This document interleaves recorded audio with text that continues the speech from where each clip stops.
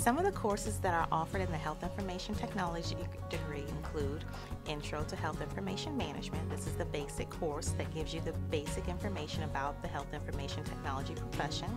There's also four medical coding classes, with the first one being a beginner coding class, and then we have the intermediate coding, and, and it goes to advanced coding.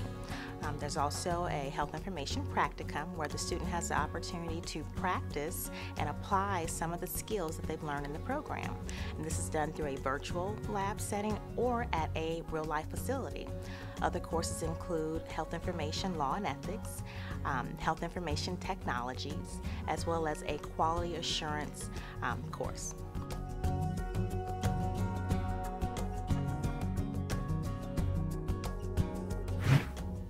If I had to select what are the favorite courses in the Health Information Technology program, I actually couldn't select just one. I think there are several that I think students would find most enjoyable. The first is Intro to Health Information Management. This is the first course that the students will take in the core curriculum, and this course is going to educate them on the basics of the health information technology profession. The other course I think most students enjoy are the medical coding courses. There's actually four of them.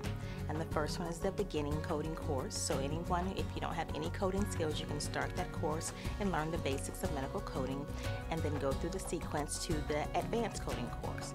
And the third, I think, would be the most favorite is at the end of the program where the student actually does a practicum where they get to actually practice the skills and things that they have learned in the program. So they get to apply the knowledge and see that this is really what they will be doing upon graduation.